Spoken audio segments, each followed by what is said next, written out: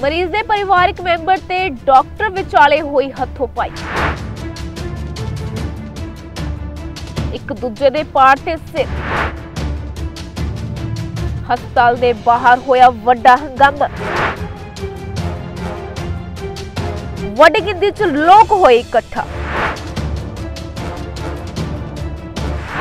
ਹਸਪਤਾਲ ਦੇ ਬਾਹਰ ਉਸ ਸਮੇਂ ਹੰਗਾਮਾ ਹੋ ਗਿਆ ਜਦੋਂ ਇੱਕ ਡਾਕਟਰ ਅਤੇ ਮਰੀਜ਼ ਦੇ ਪਰਿਵਾਰਕ ਮੈਂਬਰ ਆਪਸ ਦੇ ਵਿੱਚ ਉਲਝ ਗਏ ਅਤੇ ਹੱਥੋਂ ਪਾਈ ਹੋ ਜਾਂਦੀ ਹੈ। ਇੱਕ ਦੂਜੇ ਦੇ ਸਿਰ ਵੀ ਪਾੜੇ ਗਏ ਅਤੇ ਇੱਕ ਦੂਜੇ ਤੇ ਗੰਭੀਰ ਆਰੋਪ ਵੀ ਲਗਾਏ ਗਏ। ਦਰਅਸਲ ਇਹ ਮਾਮਲਾ ਜਲੰਧਰ ਤੋਂ ਸਾਹਮਣੇ ਆਇਆ ਹੈ। ਜਲੰਧਰ ਦੇ ਇੱਕ ਹਸਪਤਾਲ ਦੀਆਂ ਇਹ ਤਸਵੀਰਾਂ ਨੇ ਜਿੱਥੇ ਕਿ ਬੱਚੀ ਹੈ ਜਿਹੜੀ ਕਿ ਹਸਪਤਾਲ ਦੇ ਵਿੱਚ ਦਾਖਲ ਕਰਵਾਈ ਗਈ ਸੀ। ਤਾਂ ਪਰਿਵਾਰਕ ਮੈਂਬਰਾਂ ਦੇ ਵੱਲੋਂ ਆਰੋਪ ਲਗਾਏ ਗਏ ਕਿ ਬੱਚੀ ਜਿਹੜੀ ਕਿ ਉਸਦਾ ਇਲਾਜ ਨਹੀਂ ਹੋਇਆ ਤੇ ਬੱਚੀ ਨੂੰ ਆਰਾਮ ਨਹੀਂ ਹੋਇਆ। ਇਸ ਹਸਪਤਾਲ ਦੇ ਵਿੱਚੋਂ ਤਾਂ ਉਸ ਤੋਂ ਬਾਅਦ ਡਾਕਟਰਾਂ ਦੇ ਨਾਲ ਖੈਬੜ ਜਾਂਦੇ ਨੇ ਮਰੀਜ਼ ਦੇ ਪਰਿਵਾਰਕ ਮੈਂਬਰ।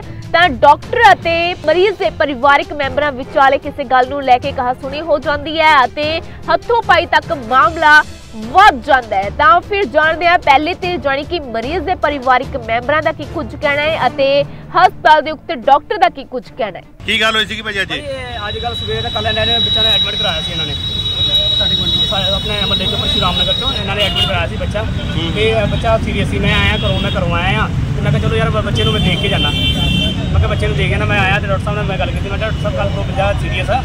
ਤੇ ਤੁਸੀਂ ਟ੍ਰੀਟਮੈਂਟ ਕਿਦਾਂ? ਕਹਿੰਦਾ ਯਾਰ ਡਾਕਟਰ ਸਾਹਿਬ ਕਹਿੰਦਾ ਯਾਰ ਇਹਨੂੰ ਆਈਸੀਯੂ 'ਚ ਕਰਨਾ ਪੈਣਾ। ਤੇ ਮੈਂ ਕਿਹਾ ਚਲੋ ਕੋਈ ਗੱਲ ਨਹੀਂ ਕਰ ਲਓ। ਤੇ ਉਹਨਾਂ ਨੂੰ ਪੁੱਛਿਆ ਉਹਨਾਂ ਘਰਦਿਆਂ ਨੂੰ ਕਰਦੇ ਕਹਿੰਦੇ ਆ ਕਿ ਕੋਈ ਗੱਲ ਨਹੀਂ ਏਦਾਂ ਕਰੋ ਤੁਸੀਂ।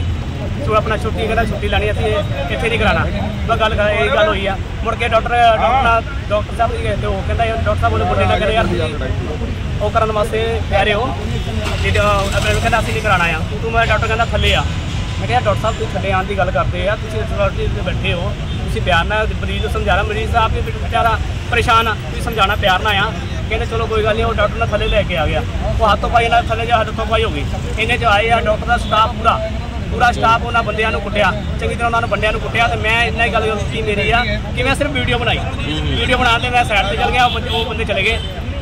ਹਸਪੀਟਲ ਮੈਨੂੰ ਵੀਡੀਓ ਬਣਾਉਣ ਦੇ ਕਦਮ ਤੇ ਮੈਨੂੰ ਕੁੱਟਿਆ ਇਹਨਾਂ ਨੇ ਮਾਰਿਆ। ਮੇਰੇ ਸਰ ਪਾਟੇ ਕੱਲ ਤੋਂ ਬਾਅਦ 15 15 15 ਬੰਦਿਆਂ ਨੇ ਮੈਨੂੰ 15 15 ਤੇ 20 ਬੰਦਿਆਂ ਨੇ ਮੈਨੂੰ ਕੁੱਟਿਆ ਇਹਨਾਂ ਨੇ। ਮੈਨੂੰ ਚੱਕ ਕੇ ਅੰਦਰ ਲੈ ਕੇ ਬਿਠਾਇਆ ਮੈਨੂੰ। ਭਾਈ ਅੰਦਰ ਕਾ ਤੋਂ ਬਿਠਾਇਆ ਉਹਨਾਂ ਨੇ ਕੁੱਟਿਆ ਮੈਨੂੰ ਵੀ ਕੁੱਟਿਆ ਅੰਦਰ ਜਾ ਕੇ ਕੁੱਟਿਆ। ਕਿਡਨੈਪ ਕੀਤਾ ਮੈਨੂੰ। ਭਾਈ ਪੁਲਿਸ ਨੂੰ ਤਲਾ ਨਹੀਂ ਦਿੱਤੀ ਤੁਸੀਂ? ਭਾਈ 100 ਨੰਬਰ ਤੇ ਕੀਤਾ ਲਾ 100 ਨੰਬਰ ਵਾਲੇ ਚੱਕਦੇ ਨੇ 112 ਤੇ ਵੀ ਕੀਤਾ। ਮੈਂ ਕਿਹਾ ਇੱਥੇ ਮਾਹੌਲ ਸ਼ਾਂਤ ਹੋ ਜੀ ਸਾਡਾ ਜਿਹੜਾ ਪੇਸ਼ੈਂਟ ਸੀਗਾ ਸੀਰੀਅਸ ਸੀਗਾ। ਮੇਰੇ ਡਾਕਟਰ ਨੇ ਜਿਹੜਾ ਹੈਗਾ ਜਿਵੇਂ ਡਾਕਟਰ ਨੇ ਦੱਸਿਆ ਕਿ ਤੁਹਾਡਾ ਪੇਸ਼ੈਂਟ ਸੀਰੀਅਸ ਹੈਗਾ ਤੀ ਸਾਈਨ ਕਰਤੇ। ਉਹ ਬਜਾਏ ਕਿ ਸਾਈਨ ਕਰਨ ਦੇ ਇੱਕਦਮ ਹੀ ਇਕੱਲੇ ਡਾਕਟਰ ਨੂੰ ਚਾਰ ਪੰਜ ਬੰਦੇ ਟੁੱਟ ਕੇ ਪੈ ਗਏ। ਉਹਨਾਂ ਨੇ ਸਿਲੰਡਰ ਚੱਕ ਕੇ ਗੈਸ ਦਾ ਆਕਸੀਜਨ ਸਿਲੰਡਰ ਹੈ ਉਹਦੇ ਸਿਰ ਤੇ ਮਾਰਿਆ। ਉਹ ਕੱਲਾ ਸੀ ਵਿਚਾਰਾ ਉਹ ਘਬਰਾ ਗਿਆ। ਉਹਨੂੰ ਬਚਾਉਣ ਲਈ ਸਾਡੇ ਜਿਹੜੇ ਸਟਾਫ ਦੇ ਤਿੰਨ ਚਾਰ ਬੰਦੇ ਆਏ। ਨੈਚੁਰਲੀ ਜੇ ਕਿਸੇ ਬੰਦੇ ਦੇ ਸਿਰ ਤੇ ਤੁਸੀਂ ਸਿਲੰਡਰ ਮਾਰ ਰਹੇ ਹੋ ਤੇ ਉਹ ਆਪਣੇ ਨੂੰ ਰੋਕਣ ਲਈ ਆਪਣਾ ਬਚਾਅ ਕਰਨ ਲਈ ਕਰੇਗਾ। ਬਜਾਏ ਕਿ ਉਹ ਦੱਸੋ ਕਰਨ ਦੇ ਕਿ ਅ, ਇਹਦੇ ਬ- ਉਹਦੇ ਡਾਕਟਰ ਦੇ ਮੂੰਹ ਤੇ ਪੂਰੇ ਨਿਸ਼ਾਨ ਹੈਗੇ ਠੀਕ ਹੈ ਅਸੀਂ ਉਹ ਚਾਹੁੰਦੇ ਅਸੀਂ ਵੀ ਐਮਐਲਏ ਕਰਾ ਸਕਦੇ ਹਾਂ ਲੇਕਿਨ ਅਸੀਂ ਨਹੀਂ ਕਰਾ ਰਹੇ। ਤੇ ਇਹਦਾ ਮਤਲਬ ਇਹ ਨਹੀਂ ਗਾ ਕਿ ਤੁਸੀਂ ਕਹੋ ਜੀ ਉਹਨਾਂ ਨੇ ਮਾਰਿਆ। ਉਹਨਾਂ ਨੇ ਸੈਲਫ ਡਿਫੈਂਸ ਜਦੋਂ ਉਹਨਾਂ ਨੇ ਉਹਨੂੰ ਕੱਲੇ ਨੂੰ ਡਾਕਟਰ ਨੂੰ ਮਾਰਿਆ ਉਦੋਂ ਮੁੰਡੇ ਮੇਰੇ ਇਕੱਠੇ ਹੋ ਕੇ ਬਚਾਅ ਦੇ ਵਿੱਚ ਹੋਏ ਉਹ ਕਹਿ ਰਿਹਾ ਕਿ ਡਾਕਟਰ ਸਾਹਿਬ ਨੇ ਗੁੰਡਾਗਰਦੀ ਕੀਤੀ ਹੈ ਸਿਰ ਪਾੜੇ ਸਾਡੇ ਉਹਨਾਂ ਨੇ ਉਹਨਾਂ ਨੇ ਬੱਗਾ ਸਾਡੇ- ਪੂਰਾ ਸਟਾਫ ਸਾਨੂੰ ਪਿਆ। ਜਦੋਂ ਉਹਨਾਂ ਨੇ ਪਹਿਲੇ ਡਾਕਟਰ ਨੂੰ ਸਾਡੇ ਮਾਰਿਆ ਫਿਰ ਡਾਕਟਰ ਨੇ ਸੈਲਫ ਡਿਫੈਂਸ 'ਚ ਉਹਨਾਂ ਸਾਡੇ ਡਾਕਟਰ ਨੂੰ ਸਿਲੰਡਰ ਮਾਰੇ ਨੇ। ਹੂੰ ਹੂੰ। ਆਕਸੀਜਨ ਦੇ ਸਿਲੰਡਰ ਚੱਕ ਕੇ ਮਾਰੇ ਸਾਡਾ ਸਾਰਾ ਸਟਾਫ ਗਵਾ ਕਾਰਨ ਕੀ ਹੈ ਸਰ ਪੂਰੇ ਵਿਵਾਦ ਦਾ? ਕੀ ਸਾਰਾ ਹੋਇਆ? ਪੇਨ ਸੀਰੀਅਸ ਸੀਗਾ। ਪੇਨ ਨੂੰ ਅਸੀਂ ਕਿਹਾ ਕਿ ਤੁਸੀਂ ਜਿਹੜਾ ਪੇਸ਼ੈਂਟ ਹੈਗਾ ਸੀਰੀਅਸ ਹੈ। ਉਹ ਸਮਝਾ ਰਹੀ ਸੀ ਕਿ ਸਾਈਨ ਕਰ ਦਿਓ ਤੁਸੀਂ। ਹੂੰ। ਬਜਾਏ ਕਿ ਸਾਈਨ ਕਰਨ ਦੇ ਵੀ ਪੇਸ਼ੈਂਟ ਸੀਰੀਅਸ ਹੈਗੇ ਨੇ ਉਲਟਾ ਉਹ ਡਾਕਟਰ ਨੂੰ ਟੁੱਟ ਕੇ ਪੈ ਗਏ ਉਹਨੂੰ ਮਾਰਨਾ ਚੜ੍ਹਦੀ ਕਲਾ ਟਾਈਮ ਟੀਵੀ ਲਈ ਜਲੰਧਰ ਤੋਂ ਪੱਤਰਕਾਰ ਸੰਦੀਪ ਕੌਲ ਦੀ ਖਾਸ ਰਿਪੋਰਟ।